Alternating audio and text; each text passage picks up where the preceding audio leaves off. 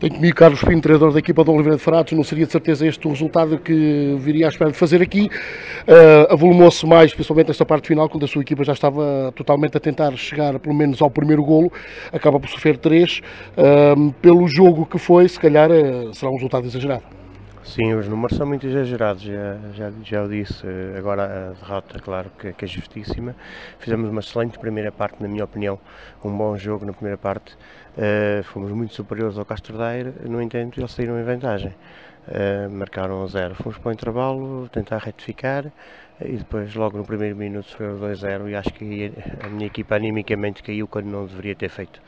Uh, os últimos três golos, é, é, é, olha só quem viu porque são uma, uma cópia um do outro. É, Contra-ataque, a equipa do Castro Daire sente-se muito bem quando está em vantagem, porque nós temos que subir as linhas e eles em contra-ataque fizeram três golos, números muito exagerados, agora a derrota justa é, para a equipa de Oliveira e a vitória, dar os parabéns ao Daire que foi justo vencedor. Faltando ainda tantas jornadas e quando se está no meio da tabela e há sempre aquela ideia de querer vencer, porque é, as equipas entram em campo exatamente para isso, mas como é que se motiva uh, a equipa para entrar com mais força ainda e querer ganhar sempre? A, equipa percebe que isto eram 3 pontos, não é? Foram 5 golos, mas foi só 3 pontos. Durante a semana vamos ter que levantar a cabeça e reagir já com, com o Vila Nova Paiva, que pai vence em casa. A equipa estava na tabela classificativa muito tranquila e se calhar é, é o mal, o mal de muito, muitos jogadores.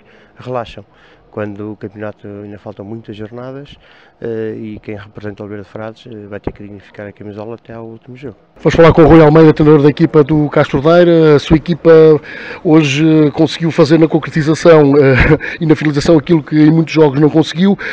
marca 5 golos, explorando claramente o contra-ataque num jogo que me parece que foi quase sempre controlado pela equipa da casa.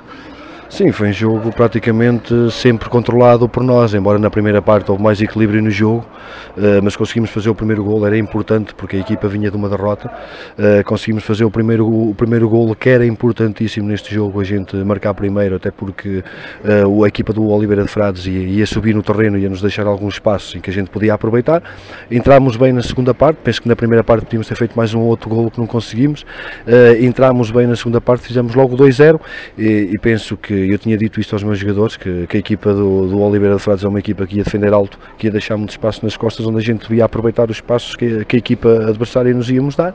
Sabíamos que não ia ser um jogo fácil e que o jogo ao intervalo estava um jogo equilibrado, porque esta equipa do Oliveira de Frades é uma boa equipa, uma equipa muito bem orientada.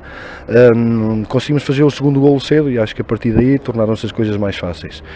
Um, conseguimos fazer mais três golos, podíamos ter feito mais alguns, a equipa está de parabéns por a, por a, eh, por a resposta que deu, a equipa vinha de uma derrota e por, por, a, eh, por a resposta que deu em campo, por a atitude que os jogadores tiveram em campo e por a vontade que os jogadores tiveram de ganhar este jogo. E outro ponto importante hoje também, eh, eu vou usar a palavra redenção, mas não seria se calhar necessária porque o Luís Cardoso é um excelente jogador e quem duvida disso é mesmo quem não acompanhou a carreira deste jogador até agora, mas hoje redimiu-se, foram três golos, duas assistências e notou-se claramente a alegria do jogador em festejar estes golos porque eram merecidos e andava à procura deles há muito tempo.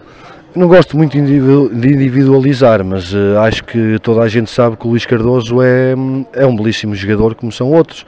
Ele hoje fez dois golos, fez algumas assistências uh, e penso que podia ter feito mais um ou outro, mas acho que uh, se calhar a própria reação do Luís Cardoso vem porque por vezes os jogadores sentem o, sentem o apoio e sentem a falta de apoio do público.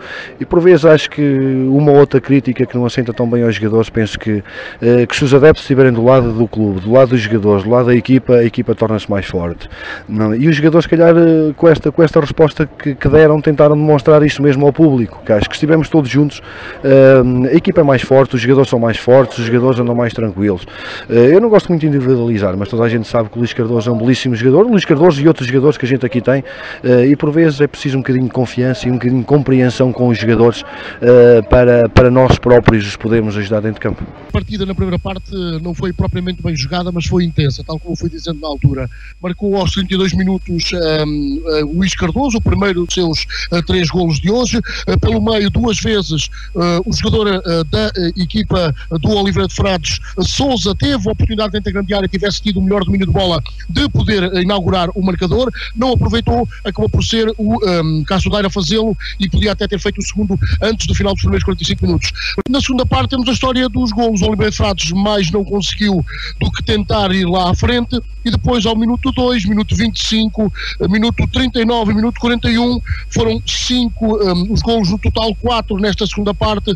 Luís Cardoso uh, acabou por uh, fazer então 3, um para Ruben, outro para Friday, numa vitória justa, sem espinha, sem contestação, não uh, com uma exibição de encher o olho, mas claramente melhor do que aquela que fez um, o Oliveira de Fratos. E hoje, um, duas notas finais. Primeiro, a de que o Castro Daire esteve melhor na, na, finalização, que muitas vezes foi pecha aqui no complexo esportivo de Castro Daire, porque criava as oportunidades e não conseguia marcar, e também a redimir-se hoje, não sei se o termo é mais correto, ou pelo menos a ter uma certa redenção para o excelente jogador que é Luís Cardoso, hoje a marcar três golos, a fazer duas assistências e um, claramente a marcar a sua posição num jogo que esperaríamos que fosse mais equilibrado, mas acabou por não ser, acabou com o resultado de 5 um, para a equipa do um, Castro Daire, 3 do Luís Cardoso, um de Ruben, um de Friday, 0 para a equipa do Oliveira Fernandes.